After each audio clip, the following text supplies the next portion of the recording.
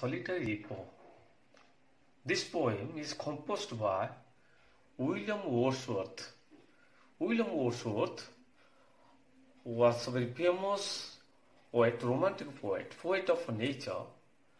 Uh, he was born uh, on 7th April 1770 in Cockermouth in the uh, in UK. This is Cockermouth. You, you see the picture. It's situated in England. Uh, William Wordsworth is regarded as a worshipper of nature, love of nature, uh, is a major theme of his poetry. He wrote about ordinary men and women in the language of ordinary people.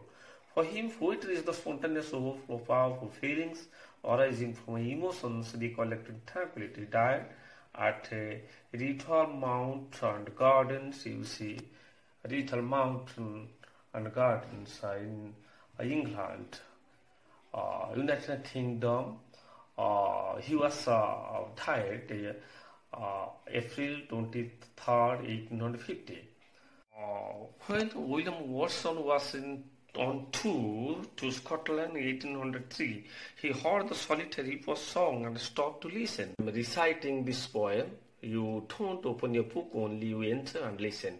Behold a single in the field, young solitary highland lass, reaping and singing by herself, stop here or gently pause. Alone she courts and winds the crane, and sings some melancholy strain. Oh, listen, for the vale profound is overflowing with the sound. No nightingale did ever chant more welcome notes to weary bands of travelers in some shady hunt amongst Arabian sands. A voice so thrilling never was heard in springtime from the cuckoo bird, breaking the silence of the seas among the farthest Hebrides.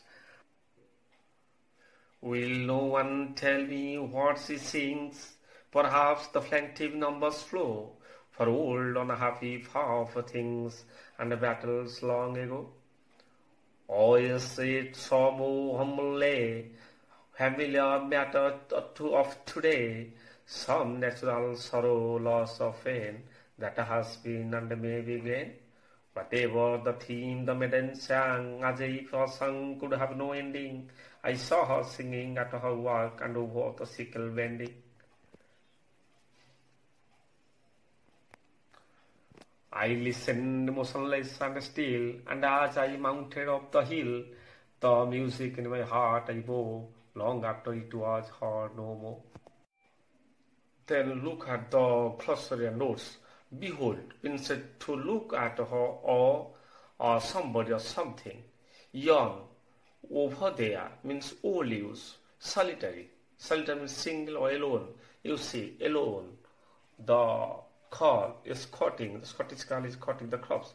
Highland lass means Scottish girl, a girl who lives in the Highland. You see, the Scottish girl, or she lives in the Highland of Scotland. You see the, in the picture. Now, melancholy stream, sad storm, vale, valley. Uh, you see, the valley uh, and profound, deep. Here, deep valley. Uh, valley profound means deep valley. Uh, chant means uh, chant means sing. Very, very tired after working hard. Very tired travelers uh, in the Arabian uh, sands, Arabian desert. Band group of people haunt or place visited frequently. Shady haunt. You see oasis.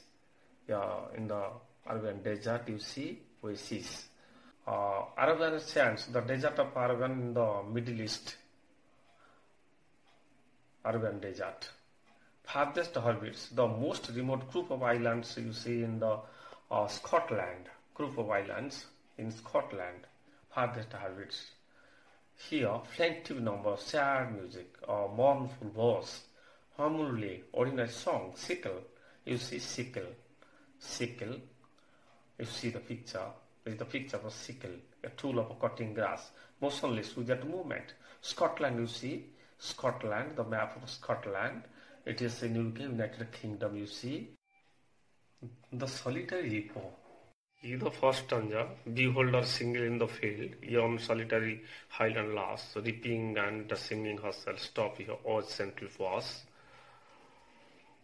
Alone, she calls and binds the crane and sings some melancholy strain. Oh, listen for the vale profound is overflowing with the sound. Now tell me, which word uh, is similar to the word single? Uh, yes, uh, or solitary. Who is uh, single in the field? Uh, yes, uh, the Scottish girl, the Highland lass, means a Scottish girl. What is girl doing? The girl was reefing and cutting the corpse and finds the crane alone. What does the uh, phrase or the line uh, is overflowing the sound? What do you mean overflowing the sound? Uh, yes, uh, the girl's tone, uh, the music of a song that spreads over deep valley, uh, well profound, means a deep valley. Okay?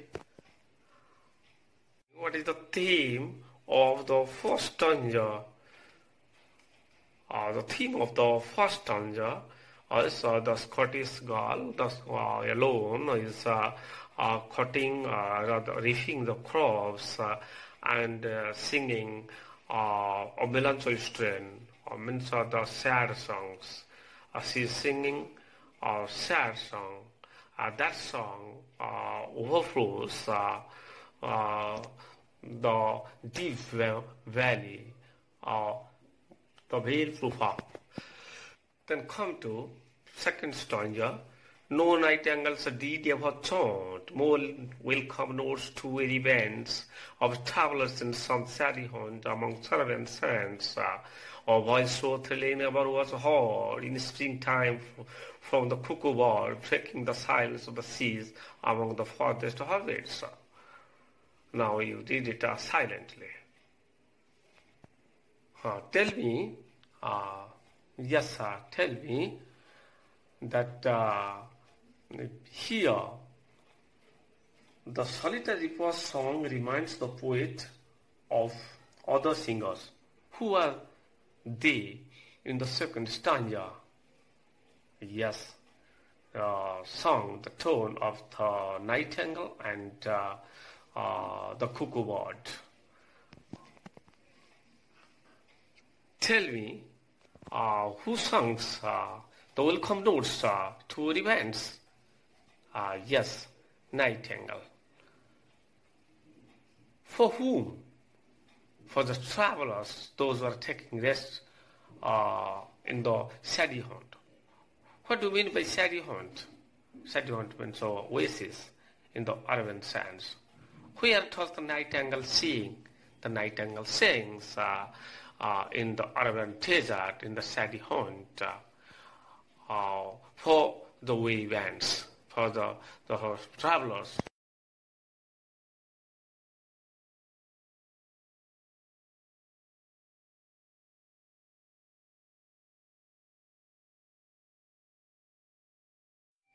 So tell me, uh, whose voice is thrilling, means exciting? Yes, the, the voice or the tone of the cuckoo bird. Where does cuckoo bird sing? Among the farthest Hebrides. And say in the uh, group of is- islands in the uh, north uh, west uh, of Scotland. Now tell me, uh, when does uh, the cuckoo sing? Yes, in springtime, the cuckoo sings. What effect uh, does it have? Uh, it breaks the silence of the uh, sea. Her song is breaking the silence of the seas.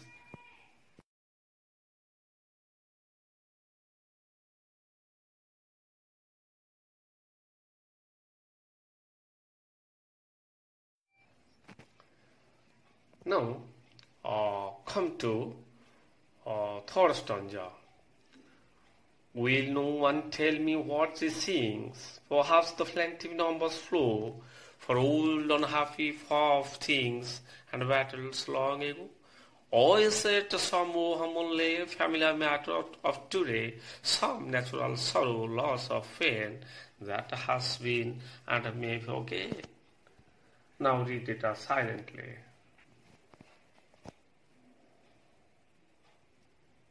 Okay. Then what does the plaintive numbers mean here? Plaintive numbers. It's a sad music, a sad song, a call, Scottish call. Tell me, uh, what are the probable themes of the girl song? Uh, yes, the poet uh, Uh, thinks uh, uh, or uh, predicts uh, that that a song may be or tell the story of some powerful happenings or natural sorrow or loss or pain or the sorrowful events happen, the battle.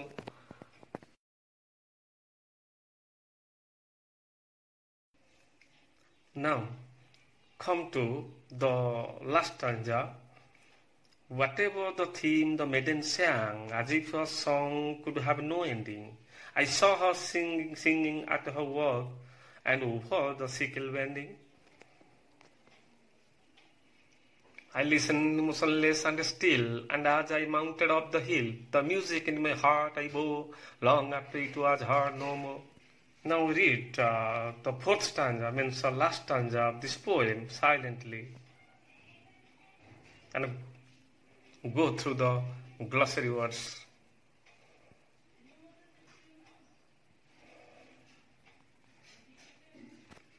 My dear students, uh, tell me, why does the poet say as if song could have no ending? Why does uh, he say so? Yes, the song contains an everlasting effect on the mind of the poet, William Wordsworth. Tell me, why does the poet uh, say, listens motionless and still? Why? Yes, the rich uh, and the melodious voice of the singer hold the poet mesmerized and spellbound. Mesmerized means attend, attend completely. Then tell me, uh, what is the reaction of the poet uh, at the end? Uh,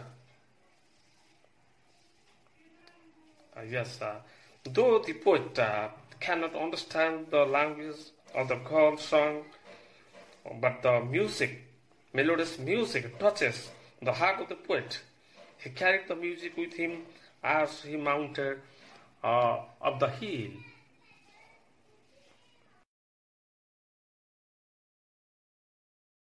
About uh, the beautiful poem of William Wordsworth, The Solitary Reaper. Thank you.